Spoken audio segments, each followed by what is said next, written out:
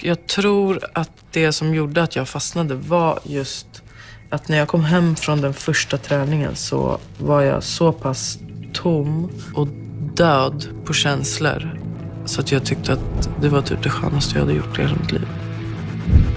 Jag var bara helt tom.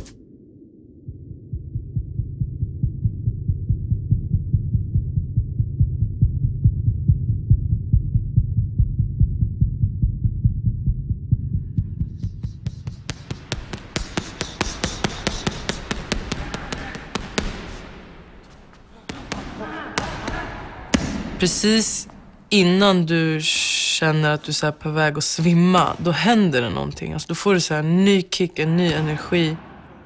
Min tränare brukade alltid säga till mig så här, när du känner att du inte orkar mer, det är då du ska köra exakt 12 minuter till.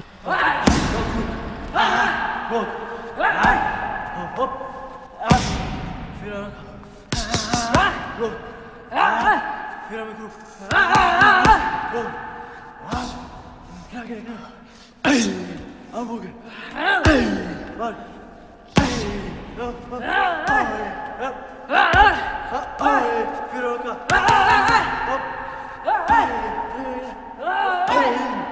Många tror att man måste vara aggressiv och hård och explosiv hela tiden.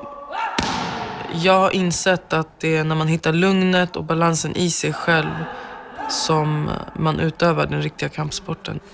Så ju lugnare du är inombords, desto mer kommer du få ut av din träning. Jag är verkligen i balans med mig själv och resten av hela universum.